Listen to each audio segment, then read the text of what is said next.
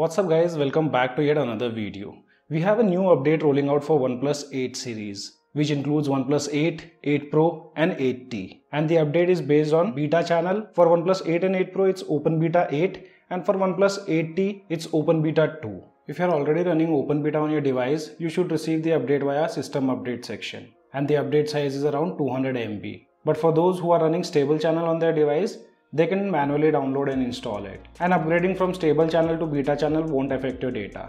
So just download the file and place it inside the internal storage. If you are running stable channel, you need to download the complete zip file which is of around 3 GB. Once you have downloaded and placed the file inside internal storage, you need to go to settings, system, system update, tap on this gear icon towards the right top corner, select local upgrade and you will be able to see the file. Tapping on it will show you an pop-up message which says this system update will not affect your data. But for safety purpose, make sure to take a backup of your device.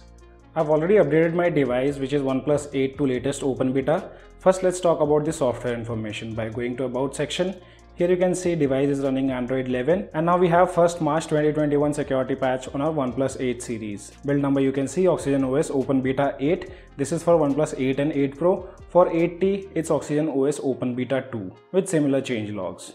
This update brings lots of fixes to Android 11, so hopefully we might see a very stable Android 11 for OnePlus 8 series. Before that, let's take a look at the benchmark results. Single core have scored 887 and multi-core have scored 3061. With the AnTuTu benchmark application, device have scored 5,74,642. Also, you guys let me know in the comment section below what all bugs you have been facing on previous open betas so that it will be easy for me to cover everything in our review video. If you take a look at the update log, here we have huge list which mostly includes all the fixes over the previous open betas or the stable builds. So fixes are related to system, camera we have some new additions, gallery fixes, then we have few fixes related to Bluetooth, messaging app, clock and ambient display.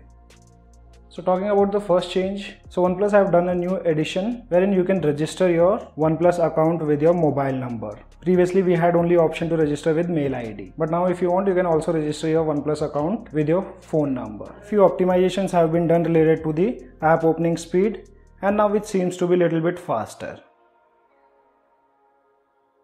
After that few fixes have been done related to the fingerprint pattern while unlocking the device. I personally never faced any kind of issues like that, but if you guys have faced, then do let me know in the comment section below. And with this open beta, OnePlus have fixed that notification delay with WhatsApp application. Now I don't find any kind of issues with the delay notification on my WhatsApp application. And I think that has also been fixed with the Telegram app too. You guys let me know in the comment section below whether you guys still face the issue of notification delay when it comes to WhatsApp or Telegram or any other application. Another fix they have done related to dark mode in which after the system update, turn on automatic dark mode used to get disabled. I'm personally not a fan of dark mode and also never noticed such kind of issue. So I'm not much aware of this issue. They have also done few fixes related to disappearing of assistant animation.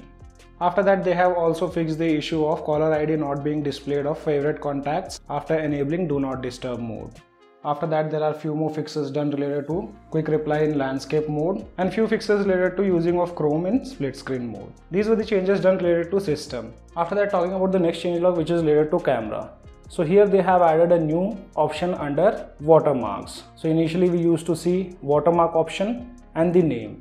But now you can also enable time option which will show you the timing of photo clicked. Then under camera they have also fixed the issue of picture not being displayed if those pictures are copied to DCIM folder. So here I have copied one picture, let me show you that. So this is the picture which I have copied and now you can easily see that photo in the gallery. This was a bug on the previous updates. Then they have also fixed the issue of nearby sharing disappearing while sharing photos directly from the Google Photos application. After that they have also fixed the issue of scenario based enhancement when device is connected to OnePlus Buds. They have also optimized and done few fixes related to messaging app. I personally did not face any kind of issues related to messaging app on the previous builds. After that they have also done few fixes related to always on display in which device used to show wrong time sequence in some languages. And most users also reported about screen flashing while unlocking the device with fingerprint unlock. Few network related issues have also been taken care by OnePlus. Last but not the least, we also have a new addition done under Zen mode, where we have this new option of the voice of Tide. From here you can choose the theme and complete the meditation challenge. You need to complete 3 challenges to get a medal. And also you guys let me know in the comment section below how many of you uses the Zen mode feature on OnePlus devices. So guys these were the complete changes done with the latest open beta for OnePlus 8 series. And you guys update me in the comment section below what all bugs you have been facing. We'll cover them in a review video. As of now only this much in this video. Hope you guys like the video. If you like the video then do give me a thumbs up. And also if you're new to our channel then do not forget to subscribe the channel. Thanks for watching. Have a great day.